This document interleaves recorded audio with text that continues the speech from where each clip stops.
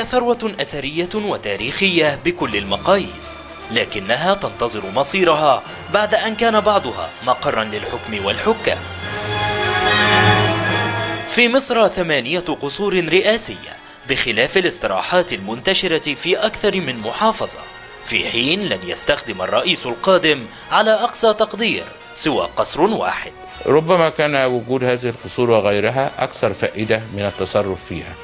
لكن هناك حل وسط وهو ما تم في قصر المنتزه في الإسكندرية أن يتم حصار القصر وأن تفتح حدائقه في مقابل نقدي لل- للاستمتاع بها للجماهير. قبل أكثر من مئة عام بدأ بناء تلك القصور وبالتحديد في عهد الخديوي إسماعيل.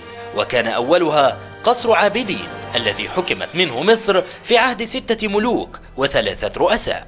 أهم القصور الرئيسية الموجودة في مصر؟ ثلاثة. القصر الأول هو قصر عابدين القصر الثاني هو قصر القبة القصر الثالث هو قصر الاتحادية. عبد الناصر اختار حكم مصر من قصر القبة.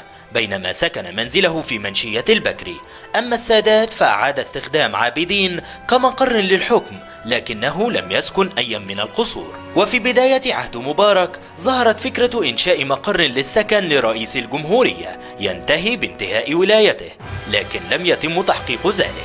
وسكن مبارك في منزله بمصر الجديدة وحكم مصر من قصر الاتحادية. ويبقى السؤال مطروحا ترى أي القصور الرئاسية سيختارها الرئيس القادم مقرا لحكمه؟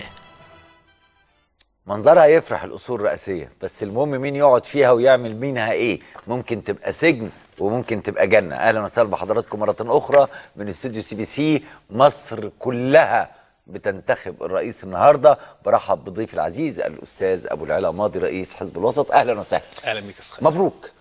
بالتأكيد مبروك لنا كلنا. سعيد بالمشهد آه راضي عنه حتى الآن شايف الأداء إيه حجم التجاوزات شايفها إزاي شايف الدنيا إزاي يا أستاذ؟ شوف هو بالتأكيد الاجمالي حتى الآن إيجابي طبعا نعم. بس الحكم على الأمور بخواتيمها زي ما بقول طبعا. نوصل لنهايتها لكن حتى الآن في الجزء اللي تم أنا طبعا شخصيا رحت انتخبت الصبح ف رحت؟ آه رحت أهو في دليل أهو دايرة إيه؟ أنا في المقطم. في مدرسة جابر الصباح هو رحت الأول الصبح لقيت طابور طويل فرحت مكتبي مكتبي في المقطم وبعدين بنتي ومراتي راحوا بعديا فقالوا ده طابور رجاله ما فيهوش حد تقريبا. فرحت فعلا دخلت انتخبت في دقيقة واحدة. حتى كنت آه، قلت للقاضي آه، البطاقة دي ما فيهاش ختم ليه؟ فقال لا ده ختم مائي فوق كده. آه، ما بيبانش. امبارح جات لنا بطاقة مطبوعة زي دي بالظبط هي دي جاية حد بس الختم المائي ده هو الفاصل. ما ما تأكدتش هر- هرجع آه. أشوفها بعدين يعني. بس أنا اللي جابها لي قلت له ما فيهاش حاجة الورقه مطبوعة طالما ما لهاش ختم ملهاش قيمة. فلما لقيت ورقه مش باين عليها ختم ظاهر فرحت قلت له فقال لي لا ده في ختم مائي فشفته فعلا. فهو ابتداء الحضور حتى الآن معقول بالنسبة ليومين هيبقى فيه 5000 واحد في اللجنة متوسط. آه.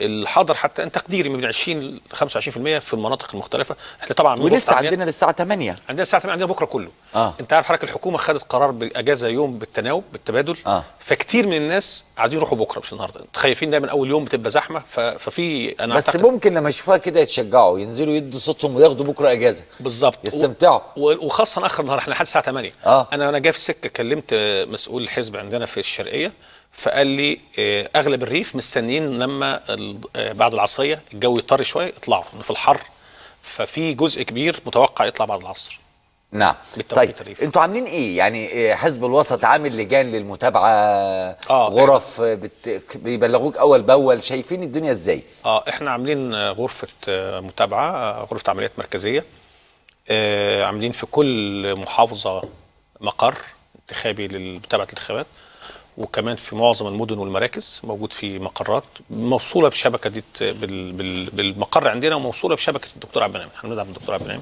نعم. فالاثنين موصولين ببعض بيصبوا على بعض. آه، تقريبا جالي تقرير معظم المحافظات عن حجم التصويت آه، المؤشرات ماشية إزاي؟ لو في تجاوزات آه، بعض التجاوزات هو إيه؟ ممنوع الكلام عن مؤشرات. لا لا أنا بقول لحضرتك اللي جالنا. آه. لا لا أنا بسأل. آه آه. أنا بسأل حضرتك. آه. هو ممنوع الحديث عن أي مؤشرات؟ إلا مع إعلان نتيجة ماشي لا أنا بقول لحضرتك اللي إحنا إحنا بالنسبة لنا بيوصل لنا إيه؟ بيوصل لنا مؤشرات أيوة. فبالتالي طبعاً. ممكن تلاقي هنا في حتة عايز يشد حيلكم شوية هنا حتة كذا يعني المؤشرات نعم. مفيدة في إدارة العملية الانتخابية نعم. لكن هو الحقيقة بس تسمح لي إنه النهارده الصبح عندكم هنا كان في ضيف عزيز صديق نجاد البرعي أيوة. وذكرنا بغير خير يعني أنا الحقيقة ما استغربت سمعتش للأسف لا كان مع الاستاذه لميس إنه قال الوسط عمل صفقة وساب الدكتور عوض وراح الدكتور الفتوح الحقيقة ما كانش صح يقول التعبير ده ده كلام غير صحيح واعتبرها سقطة من صديقنا نجاد البراي لأنه إحنا كنا ديمقراطيين جدا لما صوتنا في المرة الأولى للدكتور عوض التزمنا بيه ولما أعيد التصويت طلع الدكتور عبد التزمنا بيه فإحنا ما كانش صفقة نعم. نعم. كانت التزام ديمقراطي حقيقي إحنا عملنا تصويت لكل قواعد الحزب في الداخل وفي الخارج إحنا عندنا أعضاء مصريين في الخارج نعم. ونتيجته التزمنا بيها بس أنا حبيت أصحح انها اتقالت في البرنامج عندكم الصبح النهارده يبقى الاحترام كاملا للدكتور العوا وللدكتور أبو الفتوح ولكل مرشح الرئاسة. لا هو الاحترام قائم. أنا بس أنا, أنا نعم. عاتب على نجاد نعم. لا لا أنا أنا بحفظ حقي هنا آه. كقناة في إن ما ب... ما بندعمش حد. إحنا آه لا لا أنا بتكلم على تصحيح واقع طبعاً، مش طبعاً. بتكلم على لا. ولك هذا الحق آه. الحاجة التانية طبعا النهارده في حاجات طبعا سلبيات حصلت. يعني مثلا في رسائل إيه بتستخدم الدين في توجيه الناخبين. نعم. ات- اتعمل بها محاضر. لما تقول واحد انتخب الأستاذ خيري تخش الجنة. آه. بالاسم كده انتخب. الاستاذ خيري عشان تخش الجنة. طب مش خير الدنيا يدخل الجنة الأول. أنا عايز أضمن أنا لو حد يضمن الله ينور. عليك. أنا عايز أدخل أنا. ما فيش حد في الدنيا باستثناء الرسل هو اللي كان يبقى ضامن الجنة. مش كده ولا إيه؟ آه سيدنا أبو بكر قال لك والله لو قدم قدم إحدى قدمين في الجنة آه. والأخرى خارجها ما من امنت ضمانته. مكر الله. فثلاث رسائل جت لزميلنا واللي اللي بلغنا بيهم زميلنا ده أمين صندوق. يعني دي معلومة راحت لأمين الصندوق وبعتها لي وبأرقام التليفونات طالعة منها. واحدة بتقول كده اختار فلان عشان تخش الجنة. إذا أردت أن آه، تضمن الجنة والآخرة فلان يضمن لك ذلك. وكاتبين اسمه ورمزه. نعم. آه، المسلم يجب أن يختار مسلما فاختار فلان. فحتى احتار قال طب ما هو تقريبا كل المرشحين مسلمين. كلهم مسلمين مش تقريبا يعني هم كلهم يعني مسلمين.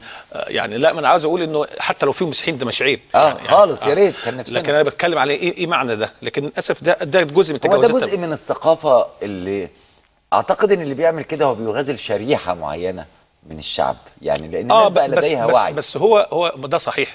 بس هو ده معناه ده مخالفة كبيرة. اولا لأنه تفسير خاطئ. استغلال الدين في في. في الدعايه الانتخابية. ده لا يجوز. نعم. طبعا نسيت أقول إن برضه في اثنين مرشحين عملوا مؤتمرات صحفية. وده خرق فادح. لل لل- هو لسه. المستشار فاروق سلطان قال عن احاله السيد الفريق أحمد شفيق إلى النائب العام آه وكمان امبارح وأول امبارح صحيفه صحيفة قومية نشرت إعلان صفحة كاملة له نعم. فريق أحمد الشفيق وفي دايم الصمت لو ذكر النهارده أن في مجموعة من التجاوزات تحقق فيها النيابة خاصة بالسيد شفيق بالسيد عمرو موسى بالسيد آه، محمد مرسي آه أنا عايز أقول دي دي خروقات أنا شايف حتى الآن في بعضها زي ما قلت تعتبر خلفة كبيرة في بعضها خلفات صغيرة حتى الآن لا تخل بالعملية حتى الآن نعم. وبالتالي نرجع تاني الفكرة اللي بدأت بيها الفقرة دي بإنه إحنا ما زلنا في ملامح عرس نعم. إن الناس بتنتخب إنه كنت بقول دايما أجمل حاجة حصلت من أول استفتاء مارس إنه لا أحد يضمن النتائج ولا نعم. أحد يستطيع يتوقعها إحنا في استفتاء مارس كنا بنقول حاجة 50% ممكن مع نعم أو مع لا نعم. فطلع ال 77 مع نعم و 23 مع لا. في البرلمان الناس كانت بتقترح بت- بتتوقع النتائج مع طلع نتائج مختلفة. أنا متصور إنه دي مش هتبعد قوي بقى عن التوقعات المرة دي. يعني مش هتبقى فيها مفاجآت كبيرة لأنه في مؤشرات بتقول في خمسة ستة أسهم عالية. هيطلع منهم اثنين هم مين بقى ربنا يسهل لهم؟ مش كده؟ عشان. محافظين على ضمانات الاستقرار.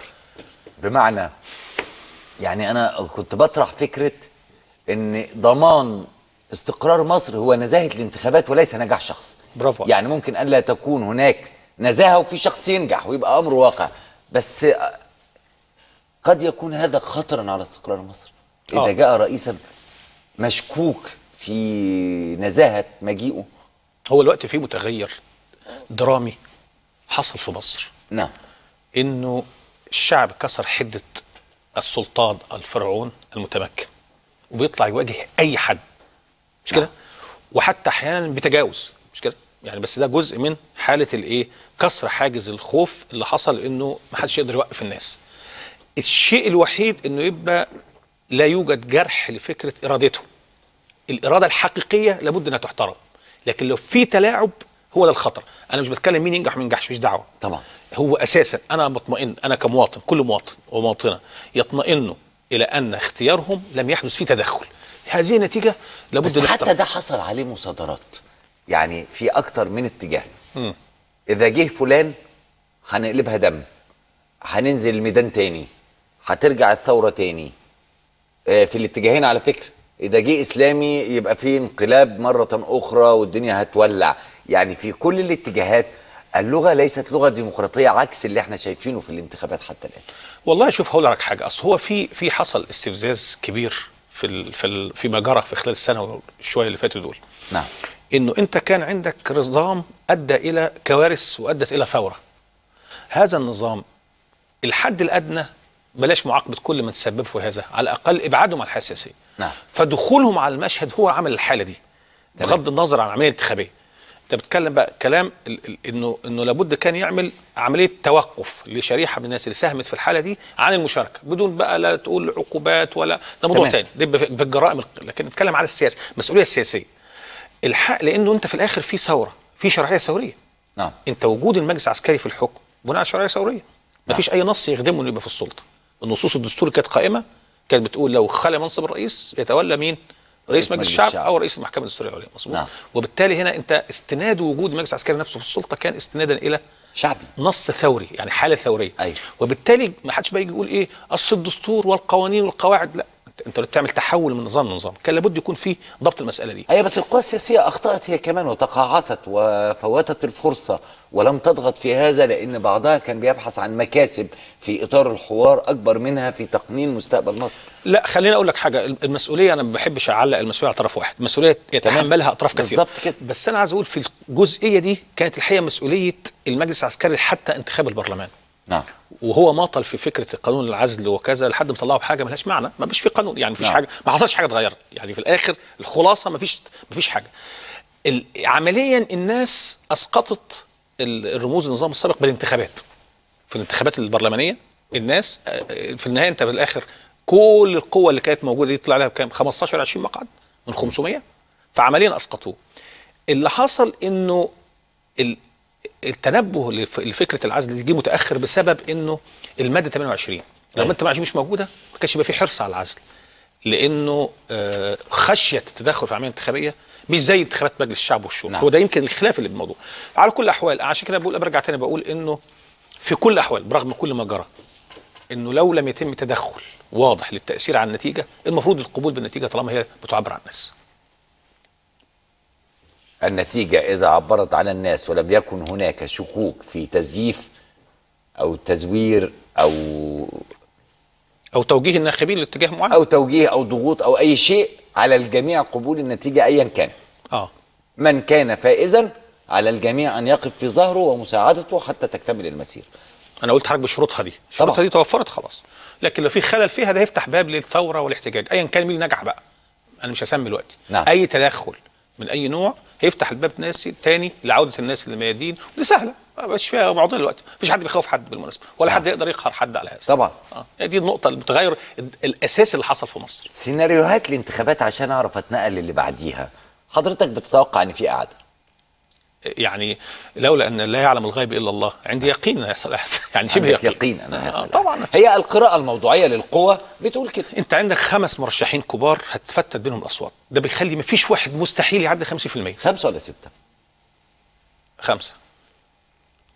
طب نعدهم نعده بغض النظر عن الترتيب يعني إحنا نقول آه، لا لا ما أنا هقول من ناحية ومن ناحية. آه يعني, أنت في في ناحية السيد عمرو موسى السيد أحمد شفيق مثلا السيد حمدين صباحي. أدي ثلاثة آه بس أنت ما نحطهمش في ناحيتهم حمدي صباح حطه لوحده. ما يعني- أقصد قوة مدنية عشان أعمل قوة ما- إسلامية. لا ما هو في برضه إسلامية مدنية. القوى الإسلامية برضه فيها مدنية. يعني آه طبعا. آه هو في إحنا قلنا ثلاثة تحط عليهم الدكتور عماد مفتوح محمد مرسي. والدكتور سليم العون. لا شوف بغض النظر عن التقديرات لا لا ما- لا، أنا بتكلم على الفرص الحقيقية للدخول في الإعادة. نعم. آه بين الخمسة دول. بين الخمسة دول. بتستبعد تماما. وإن كان ده رأي انتخابي أرجو أن نستبعده. آه، آه، في فرص لكل المرشحين يعني لا انت ما إحنا دلوقتي إحنا بنتكلم على تقديري اللي هو ممكن يطلع غلط أنا آه. أنا بقول تقديري المسألة نعم. انه انت كمان أنتوا يعني خلينا نقول إيه خل في في في مؤشر بلاش كده في مش في مؤشر حقيقي سيبك من أنا عندي شك في معظم استطلاعات الرأي تمام. لكن في انتخابات ال- الخارج المصيف الخارج نعم. ادت مؤشر على ال- المسائل وضعها إزاي انت بتشوف انها قياس بتركيبة المصريين في الخارج بالمغتربين برؤيتهم تمثل الشعب المصري بطريقة تفكيره. آه هي آه، واحد من المؤشرات. اقسمهم للنصين آه.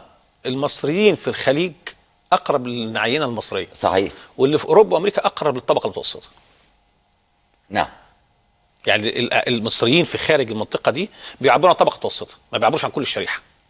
المصريين الموجودين في دول الخليج وخاصة السعودية وغيرها دول بيعبروا عن شريحة قريبة من الشريحة المصرية إن فيها عمال فيها طبقة متوسطه فيها بعض رجال أعمال ففيها عينة أقرب ما تكون أقرب ما تكون للواقع. لكن بقية المصريين أقرب لطبقه متوسطه اذا التوقعات تميل أكثر إلى إن لدينا إعادة. إعادة. طبعا.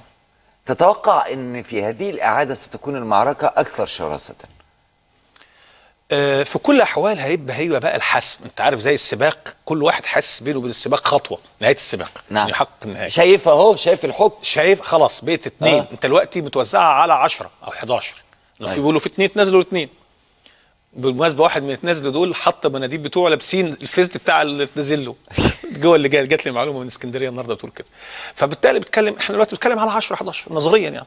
مش نعم. كده؟ لكن العملية بعد كده اتنين.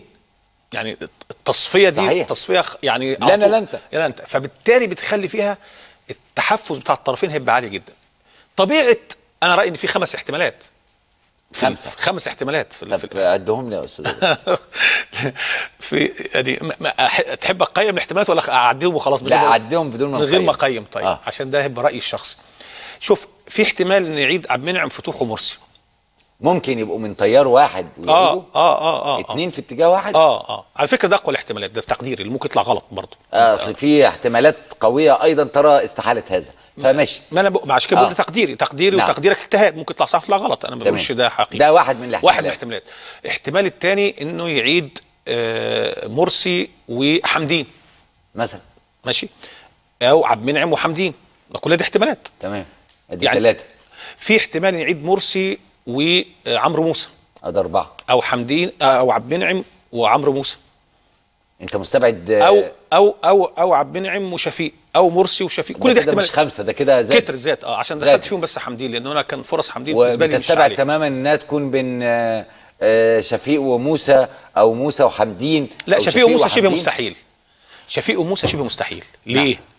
لأنه انت في النهاية عندك مؤشرات مهمة حكمتك في الاستفتاء وفي الانتخابات البرلمانية. حصل نعم. فيها تغيير آه بس مش دراماتيكي.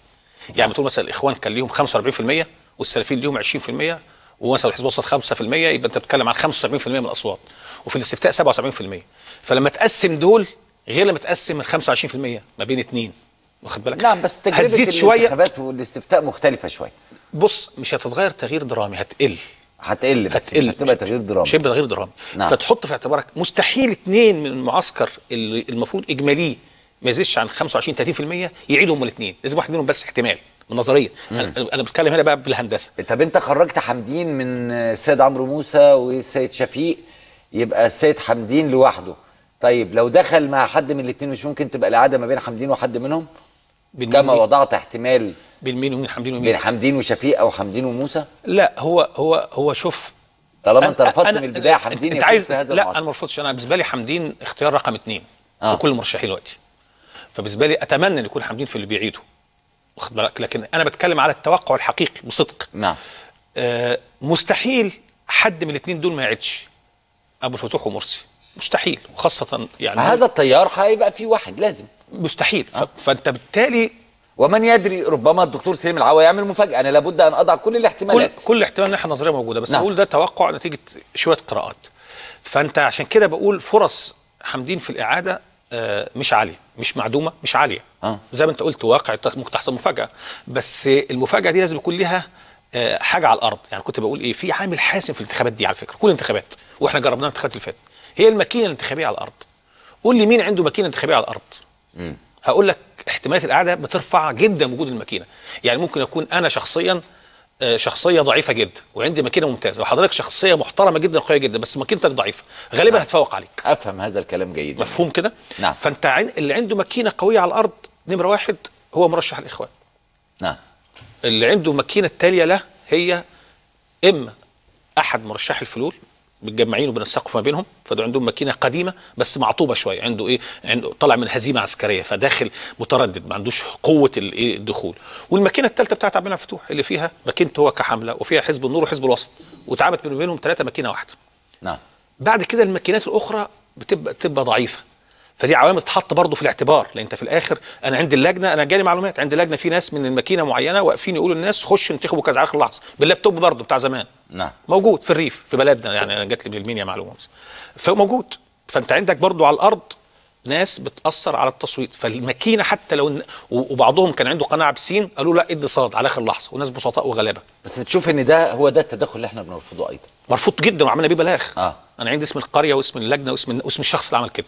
أنا بس بتكلم بقول إنه الماكينة أيوه. بتؤثر كثيرا على العملية الانتخابية. بغض النظر بتؤثر بالصح ولا بالغلط. تمام.